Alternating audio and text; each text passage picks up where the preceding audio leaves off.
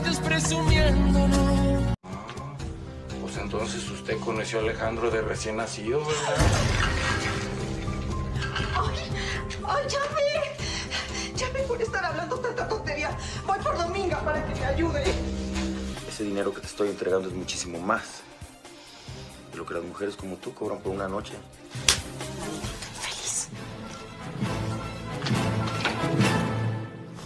Yo sé tú eres el responsable del incendio de las caballerizas.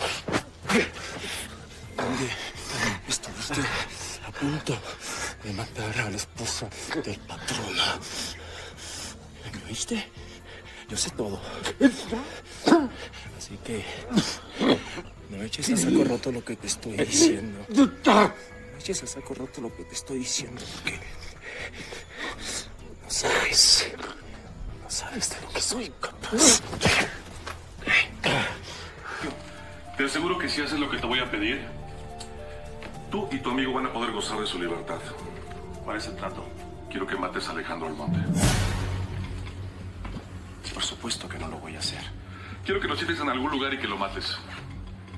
A cambio de eso, voy a dejar que te vayas junto con tu amigo. Pero si no aceptas en este mismo momento, te llevo con Alejandro para decirle quién eres en realidad. ¿Qué tienes tú que ver en esto?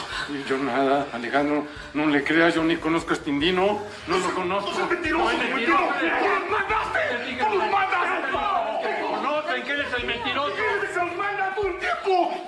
Él nos dice qué tenemos que hacer. Nos manda, nos manda a robar ganado. Hasta todas las carreteras. ¿Cómo la vez que le disparaste a Gaspar Zamudio? A tu propio hermano.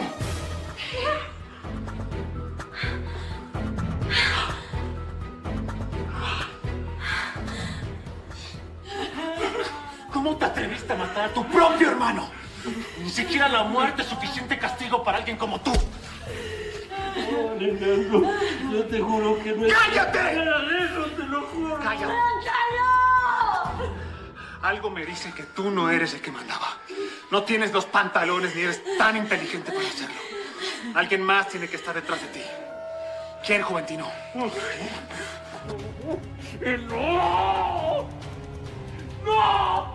Lo siento, Juventino. Tus estupideces me están poniendo en peligro. Así ya no me sirves. Yo te maldigo. Púdrete.